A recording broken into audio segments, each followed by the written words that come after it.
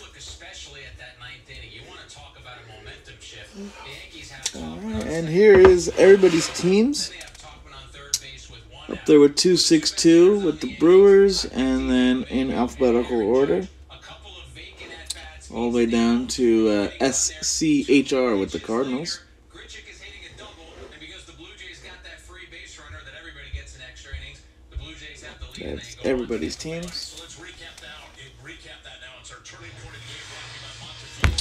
I'll give everybody another minute or so, and then we will break this box. It's just the one box. slider? You can also look at the field of play. The shadows were definitely a factor, and then the fastball right by Aaron Judge stand that in. And then you take it to the top of the ten, of course, with the rules carryover from 2020. Nick Nelson is in with Jonathan Davis on second. Yeah, he started them off with a slider, but came back. His second pitch is a fastball to Grichuk. Grichuk hits it over Judge's head. Of course, Davis is going to score on that. Blue Jays go ahead by run.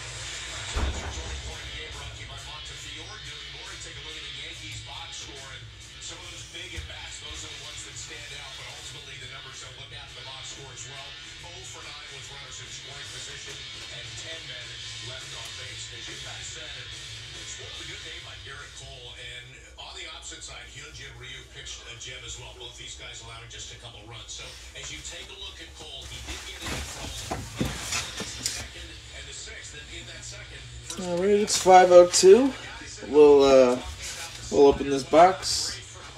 Uh, video will be posted to YouTube. Boy, cameras down.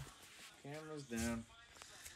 Uh, the video will, will be posted to uh, YouTube right after we break. It'll be a quick quick break here. Let's get back in there. All right.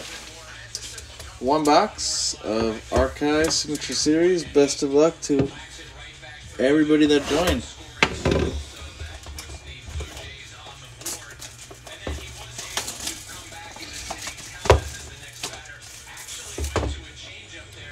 Just the one.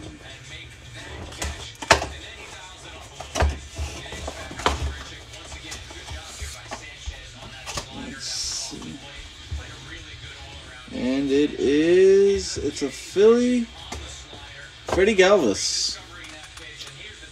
20 of 85, I believe it says it. Freddie Galvis for the Phillies.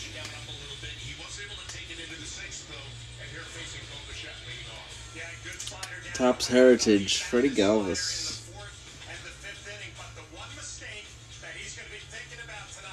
There you go, nice and easy. This will go out to tomorrow to whoever has the Phillies.